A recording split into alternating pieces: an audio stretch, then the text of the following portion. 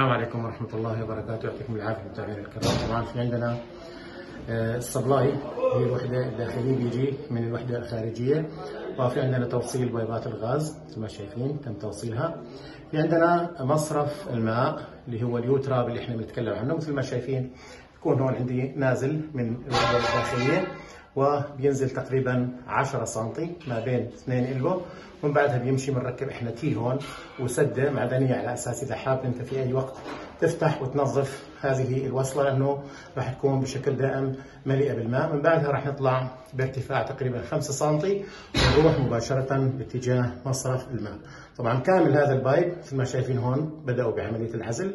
كامل هذا ال pipe راح يتم لفه بالعازل حتى ما يصير عندي تكثف.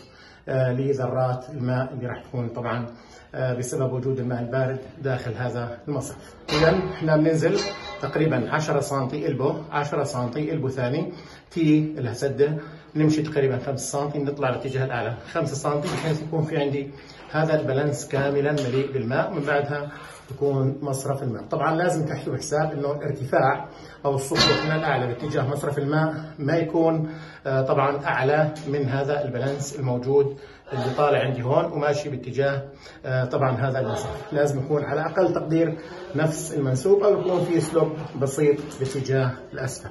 هاي ال U-trap بالنسبة لوحدات ال concealed يعطيكم العافية.